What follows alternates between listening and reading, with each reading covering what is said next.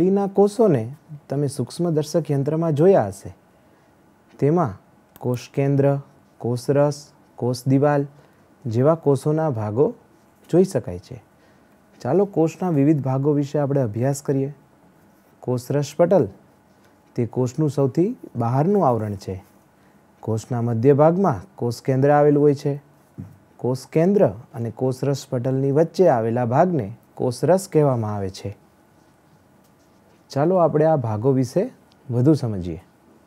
કોષરસ પટલ કોષનું બહારનું અને સ્થિતિસ્થાપક આવરણ છે. આવરણ છિદ્રાળુ છે. તેનું કાર્ય કોષને આકાર આપવાનું તેમજ વિવિધ દ્રવ્યોને કોષમાં પ્રવેશવાની અને બહાર જવાની મંજૂરી આપવાનું છે. માટે તેને પસંદગીમાન પ્રવેશશીલ પટલ પણ કહે છે.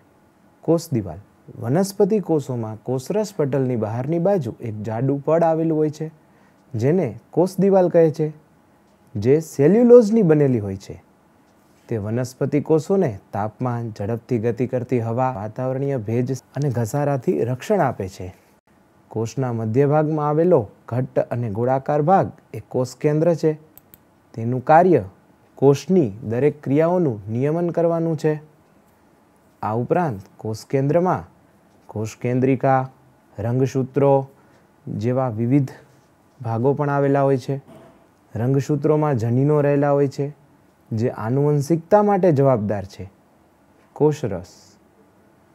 કોષરસ પટલ અને કોષ કેન્દ્રની વચ્ચે આવેલા જેલી જેવા દ્રવ્યને કોષરસ કહે છે.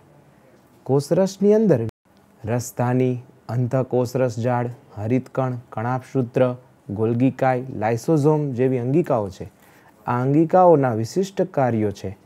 આપણે હવે પછીથી તેનો અભ્યાસ કરીશું.